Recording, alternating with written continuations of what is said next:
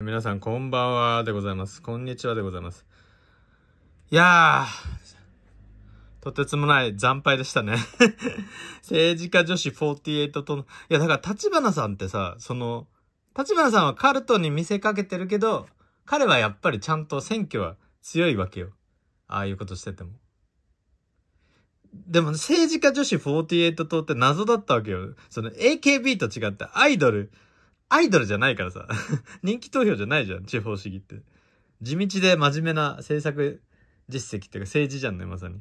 で、なんであんなことしたかって言ったら、簡単でやっぱり、やっぱり民間ビジネスがやりたかったんやな。うん。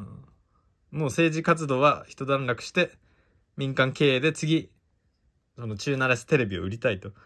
で、NHK をね、NHK から、まあ、オンデマンドコンテンツへの移行と。まあ、これをややりたかったわけやね。いやー、まあ、厳しいね、本当に。はい。まあ、彼の意向、よく分かったね。はい、これです。以上です。